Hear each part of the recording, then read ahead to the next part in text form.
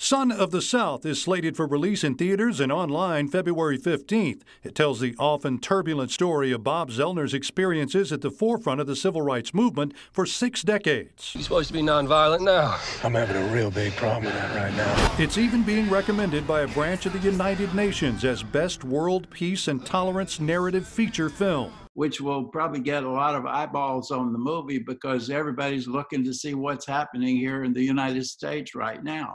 The film is based on Zellner's book, The Wrong Side of Murder Creek, directed by Montgomery native Barry Alexander Brown and produced by Spike Lee, who also has ties to the state. It was filmed in Alabama in Montgomery and Baldwin County.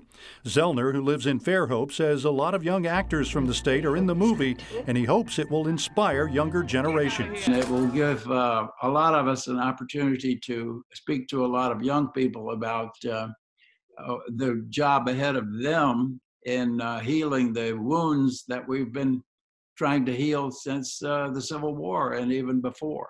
Zellner, the grandson of a Klansman, says the groundwork laid by activists in the civil rights era of the 60s is still paying off, and he offered the state of Georgia as an example, which recently elected its first black person and a Jewish person as senators.